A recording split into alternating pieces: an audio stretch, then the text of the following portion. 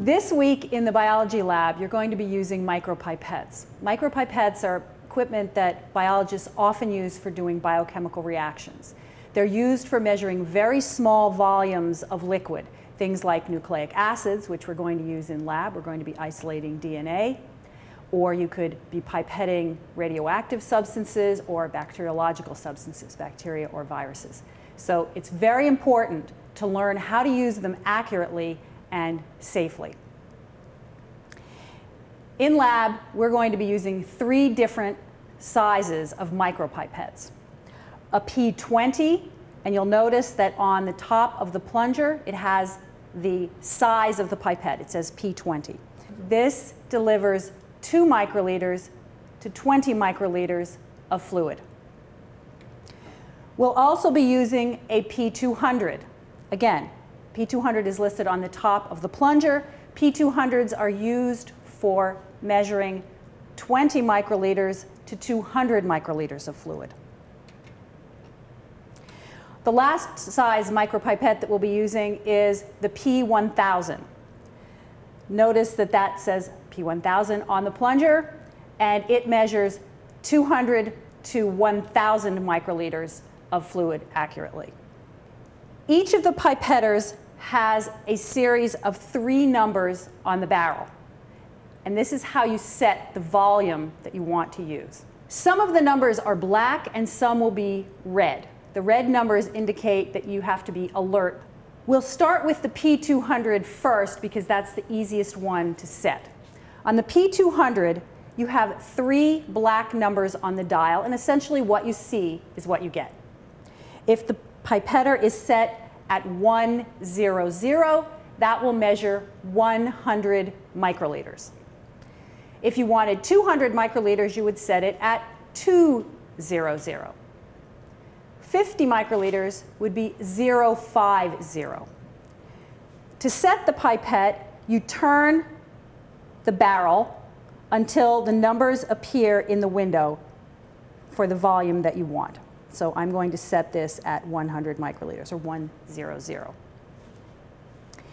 Now let's look at the P1000. The P1000 also has three numbers, but notice that the top number is in red. So that's an alert signal.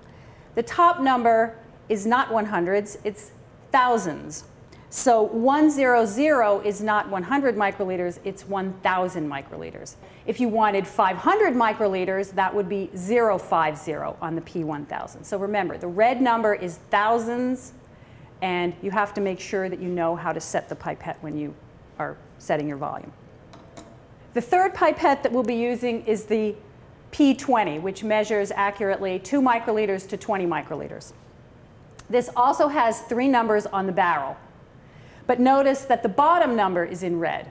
That is an alert that tells you that bottom number is tenths. So there's a decimal point before that number. So if it, the dial reads 100, that stands for 10.0 or 10 microliters. If you wanted to measure 2 microliters, you'd set the dial on 0 to 0. Just for your information, your lab manual in the appendix also has the directions for how to set the pipettes, and it also has diagrams of each of the pipettes. So if you need that, you can, you can look at that in lab and remind yourself how these pipettes should be set. It's very important to set the pipette correctly or else you might be pipetting the wrong amount of liquid and therefore your biochemical reaction is not going to work very well. Now I'm going to show you how to actually use the pipettes to measure a specified volume. I want you to notice that the pipettes are color coded and that on the top of the plunger you'll see either a yellow dot on the P20 and the P200 you have a yellow dot on the plunger on the P1000, you have a blue dot. The, this color coding tells you which size and which color pipette tips to use. If your micropipette has a blue dot, you use the larger blue tips. If your micropipette has a yellow dot on the top, you use the smaller yellow tips.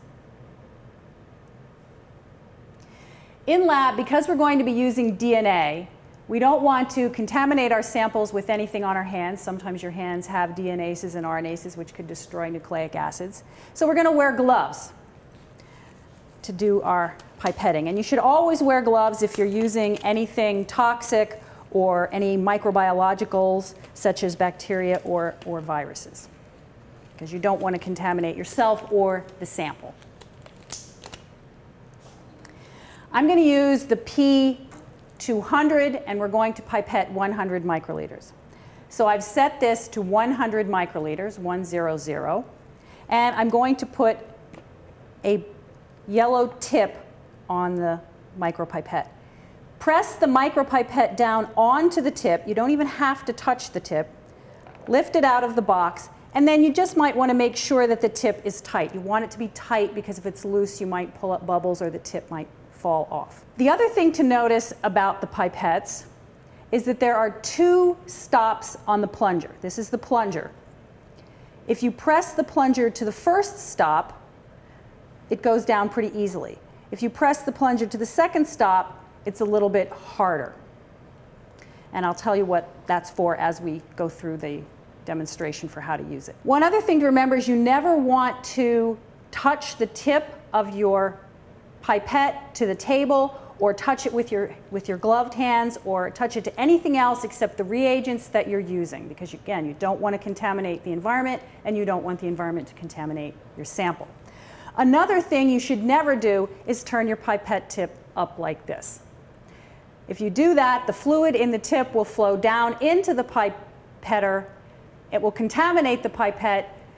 And if you're using radioactivity or bacteriologicals, that means we now have to take the pipette apart, clean it out, and start over and recalibrate it. So always hold your pipette tip in this position or at an angle with the tip down.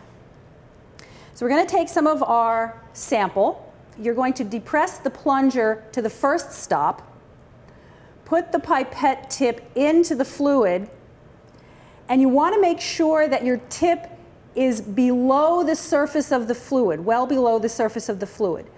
You don't want to get the pipetter itself wet. You don't want it to go in too deep, but you want it to go in deep enough so that when you pull up the liquid into the tip, you're not sucking up air. You don't want to get bubbles in the tip. So I pushed it down the plunger to the first stop. My pipette tip is under the surface of the fluid. I'm now going to slowly release the plunger and pull my sample up into my pet, pipette tip. I now have 100 microliters of accurately measured sample in my pipette tip. I'll then take a microfuge tube and I will put the tip into the tube and I will now depress the plunger again, and release the sample into the tube. And you may be able to see that there's just a tiny, tiny drop, hardly even noticeable, still left in the tip of the pipette. This is where you depress it to the second stop to push out that last drop. When you've finished adding your solution to the tube, you will eject the tip into the waste bucket by pressing down on the tip ejector. This way, you never actually have to touch the tip from the time that you take it out of the tip box until the time that you have finished your pipetting. And that way, if you're working with toxic chemicals or bacteriologicals, you're not going to get contaminate anything. Something that biologists often do when they're pipetting is they look at what they're pipetting and they check to make sure that they've pipetted the right amount in the tip. In other words, once I've pipetted 100 microliters over and over, I know what 100 microliters looks like in the tip. So I should be checking the tip to make sure that there are no bubbles and that we have 100 microliters in the tip. You should also check your test tubes. To, if you're pipetting multiple tubes with the same volume, you can check the tubes to make sure that all of the tubes are the same volume. And if they're not the same volume, you can redo that tube and make sure that you don't make a mistake uh, before you go any further with your experiment. So you should always check the volume as you're pipetting and check the volume in your tube when you're finished. In lab, you'll be able to have time to practice all these um, activities before you actually do the experiments. And thanks for watching, and we'll see you in lab.